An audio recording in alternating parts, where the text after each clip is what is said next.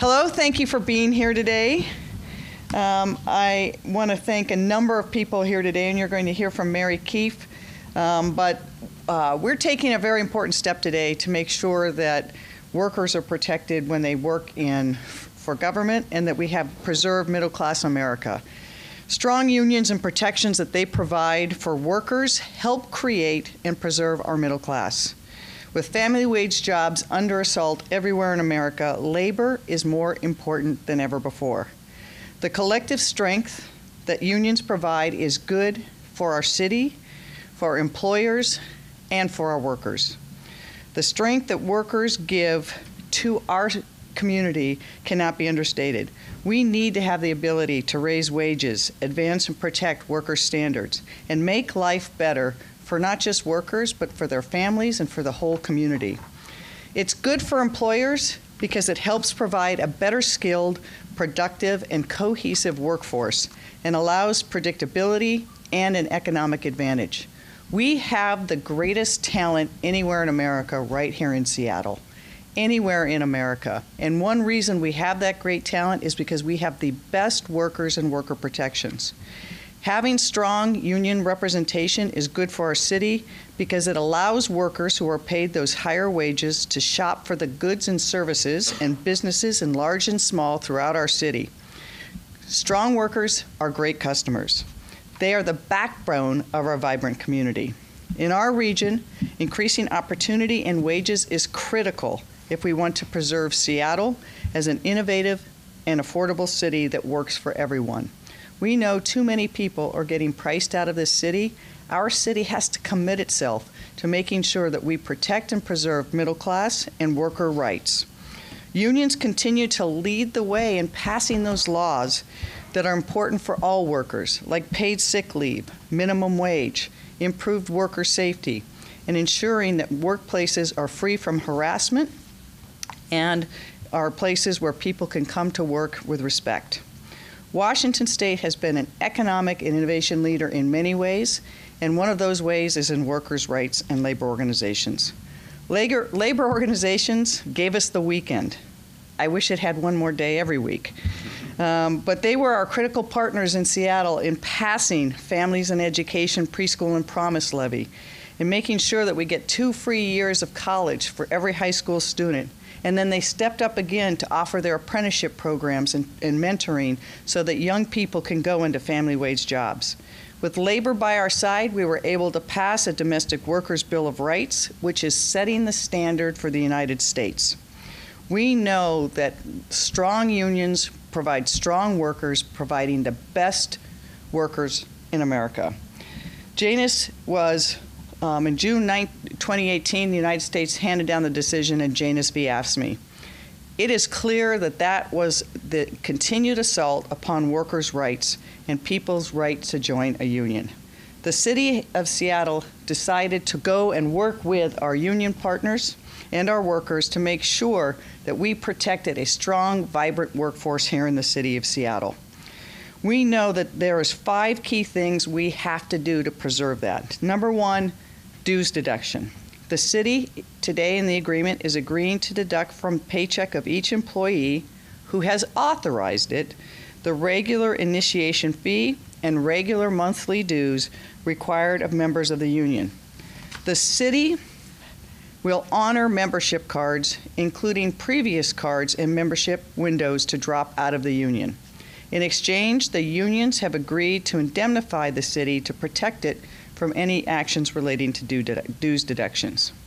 We also want to make sure that unions have access to people coming in so they can show them the strengths and benefits that they can offer. The city agrees to allow the union access to new members within their first 30 days for 30 minutes during normal working hours. We also want to make sure that as workers come in, they understand the range of options and benefits available to them. So unions will be able to present at new employee orientation for 30 minutes. New employees and change of status information can be important to the city and to workers. We're going to make sure that we provide union new employee information and change in status that includes their name, home address, job classification, and other key factors so that those people can be sure to get the information they need. One thing that unions give us is not just a workforce that shows up ready to do the job, serving the people of Seattle, but we also get training. And having highly trained workforce has proven to be critical in this city. The union is allowed to provide training to its members for up to eight hours per year during normal working hours. And these trainings add to the, every member's ability to serve the people of Seattle. We saw during the viaduct closure and the snowstorm how critical it was to have employees who are willing to show up at long hours for long shifts and do what they needed to do to serve the public. That happens because those strong workers have good protections.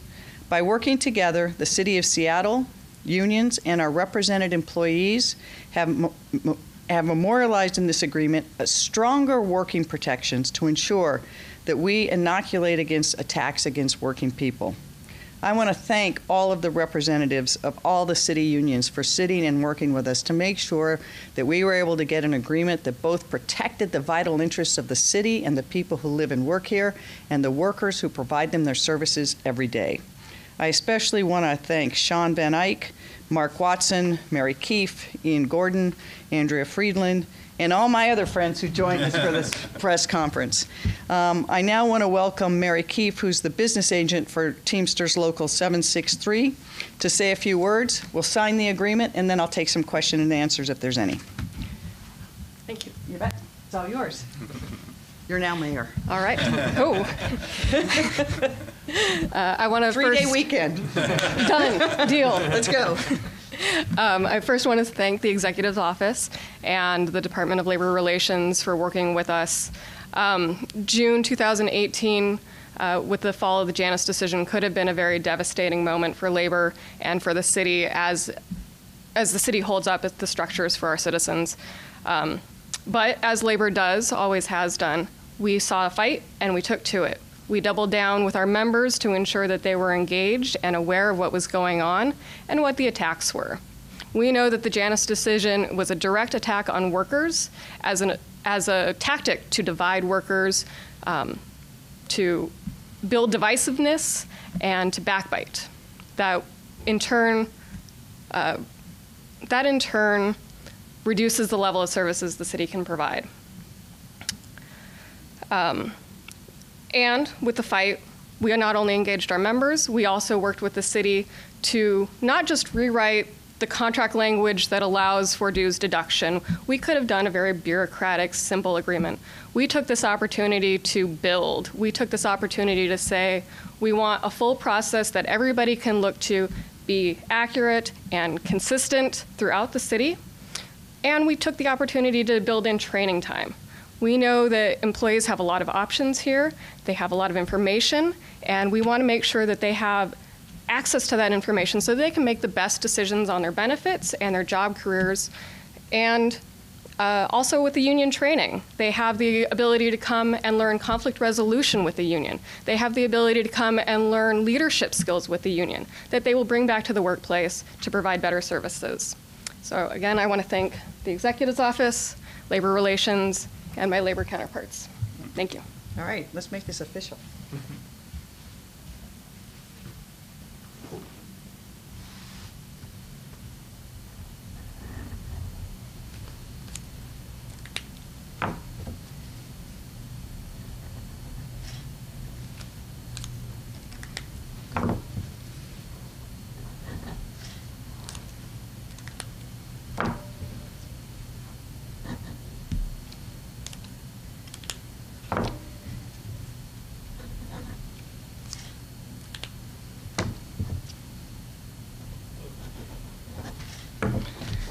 There we go. All right. Yes. I think this is really, Thank congratulations, you, and thanks for everything your Thank you members so do for the people of Seattle. Thank you. Thank you. Thank you, ma'am. All right. Thank you. I think this is critical for another reason, is that this shows Seattle, the city of Seattle is one of the largest employers in the region. This shows that when the employer sits down at the table with its workers, it can reach an agreement that's good for both of them. And make no mistake about it, an assault on unions is an assault on the middle class. And as we have seen in this country, as the middle class is disappearing, it is more than more important than ever to make sure we build up the middle class as, as, we, as much as we can. You look at the city of Seattle, and we'd have this incredible boom and prosperity with a new economy. But too many people have been left behind, and our middle class is being eroded very quickly in this city. We have to make sure that our workers are taken care of, that they're strong members of this community, and in, in return, what they have done every day is show up day after day to give us the best workforce anywhere in the state. So I'm proud of the workers of the City of Seattle. I'm proud we're able to sit down with the unions and get this agreement. I hope it serves as a model for throughout the country for both governments to show what you can do in light of Janus, but more importantly, for every employer. Work with your workers, support your workers, and you will be a better business. Thank you. Any questions? Dan. Do you know how similar or different this contract is, um, or this agreement is, with those in other cities responding to Janus? We have not, we've done a, a review and we don't have all that. Dan will get back to you. Uh, we were not able to find anyone who actually had the formal agreement. People have it in various states, but let us find that out for you and we'll get back to you. Mayor, um, as Seattle has grown, the number of folks like us who are all part of a union has really shifted. And there's a lot of people coming in who are not part of a union or are, are not familiar with unions. For those people coming in as they're learning of this decision today with the city, with the mayor's office, um, what do you want them to know about the importance of the city making this decision and, and, and signing what you signed today? I think this is really important because it shows workers that the city is willing to stand by them if they give us the service we need. And we know that both in the city and across this country, when workers are protected, they do better work. And we also know that it is more critical than ever to have a solid middle class. And the history of America is, is that when unions are strong, the middle class is strong. And that makes communities stronger. And we have seen now a surge in, in types of work where workers have almost no protections. The battle, for example, with Uber and other drivers was not just about union politics, it was making sure that those workers could be insured to have family wage jobs, health care benefits, the ability to have some pension rights. You know, I just went through uh, cancer treatment and I had a very good outcome. But one of the reasons I had a very good outcome is because I have great health care and access to great medicine. That's one of the things we protect for our workers in the city. But you'll see that workers that don't have those protections in states where either unions are weak or in those segments of the economy where unions don't exist, Workers lack those protections, and that's bad for communities. Thank you. Thanks very much.